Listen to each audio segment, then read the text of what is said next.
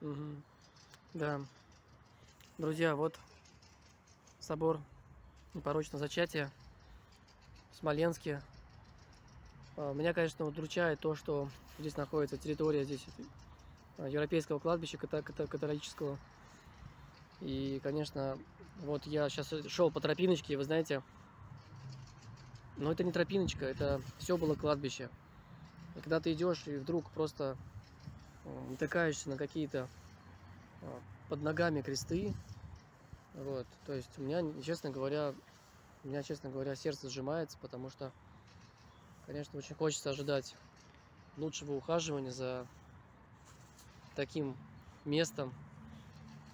Вот, и, конечно, я вот сейчас иду, и мне, честно говоря, не по себе, потому что вокруг нас это все были э, гробницы, это все были э, могилы.